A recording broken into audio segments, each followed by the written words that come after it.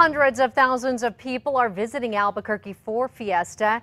As a lot of those guests leave, they'll get a look at something that makes our city look ugly. It's an eyesore that the state says has been challenging to clean up. News 13's Chris McKee is live at Coors and I-40 with more. Chris?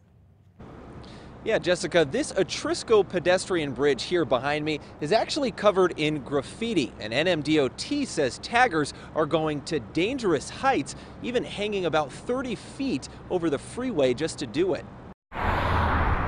For westbound drivers on I-40, you can't miss it. It's kind of disappointing because it is a beautiful area. The Atrisco pedestrian bridge near the Coors I-40 interchange has become a constant magnet for graffiti. Oh, it's we can cover it up, and by the by the weekend, it's sprayed over again. The New Mexico Department of Transportation says since the bridge opened about eight years ago, vandals have been tagging it over and over again, going to new heights to make a noticeable mark. It's just a, a constant battle to try and keep that clear of, of, of, graffiti. It's also become a big safety concern. NMDOT says the taggers are hanging over the freeway to do it.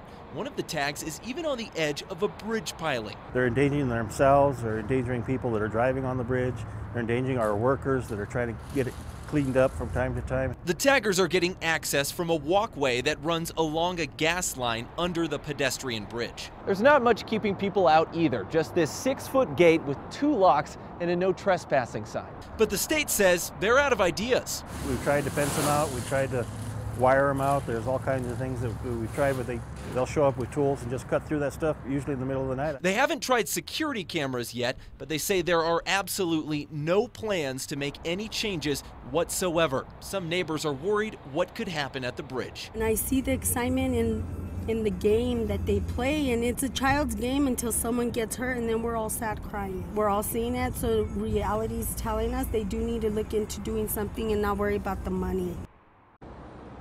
Now, NMDOT couldn't tell us when the last time the bridge was cleaned or how much it costs to clean all of that graffiti up. The money to do it, though, comes out of their yearly general maintenance funds, which also covers stuff like potholes. Back to you, Jessica. All right, thank you, Chris. The state says they haven't heard of anyone getting hurt while tagging the bridge. They also have never caught anyone in the act.